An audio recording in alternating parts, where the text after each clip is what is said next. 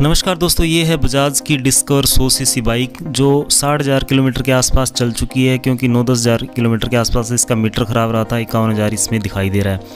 और ये 2011 मॉडल है, और ये पाँच गियर के साथ आती थी, और इसमें चौक भी नहीं आता था।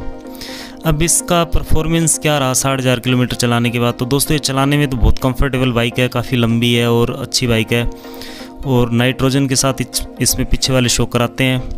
और इसमें प्रॉब्लम क्या क्या है मैं आपको वो बताता हूँ।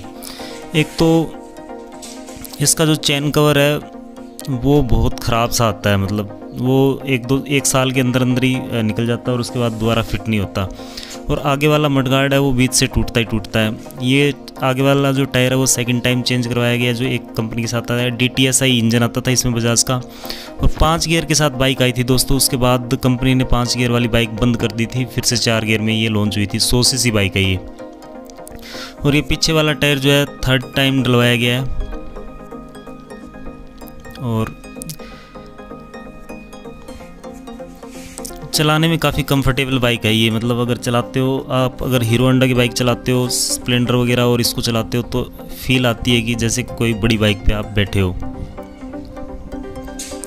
अब इसकी एवरेज की बात करूँ तो इसका एवरेज दोस्तों निकल के आता है। लगभग 50 के आसपास ये एवरेज दे देती है। अगर इसको ढंग से चलाओ तो 60 प्लस भी दे देती है, लेकिन जैसे सत्तर अस्सी की स्पीड में चलाते हैं तो ये पचास तक ये एवरेज निकाल पाती है। आप देख पा रहे हो, यहाँ पे चौक नहीं आता था, बस ये ऑटोमेटिक चौक इसमें आता है। बाद में कंपनी ने फिर से चौक देना स्टार्ट कर दिया था, लेकिन इस मॉडल में चौक नहीं आया था और पाँच गियर बाइक आई थी। तो मैं इसकी आवाज़ वगैरह आपको सुनाता हूँ। इंजन वगैरह में कुछ खास काम नहीं हुआ है।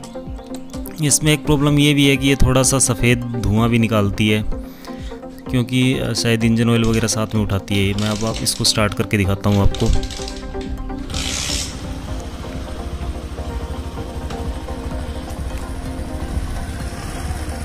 दोस्तों, इस बाइक को मैंने ही चलाया है इतने किलोमीटर तो वो काफ़ी अच्छी है, चलने में कोई दिक्कत नहीं है। पाँच गियर है तो काफ़ी स्मूथ चलती है मतलब। और कच्चे रास्तों में भी चलने में बहुत अच्छी बाइक है ये। अभी कंपनी ने डिस्कवर को बंद कर दिया है, अभी तो बहुत सारे नए मॉडल आ गए लेकिन अगर किसी को सेकेंड हैंड बाइक लेनी हो तो ये वीडियो उसके लिए हेल्पफुल रह सकता है। तो इसका चैन कवर ख़राब हो चुका था मैंने यहाँ पे साइकिल का जो प्लास्टिक का चैन कवर आया वो लगा रखा है, आप देख पा रहे हो। दोस्तों ये वीडियो कैसा लगा कमेंट बॉक्स में कमेंट करके बताना और आपके पास भी अगर बजाज डिस्क और बाइक है तो कमेंट ज़रूर से अपना वीडियो देखने के लिए धन्यवाद।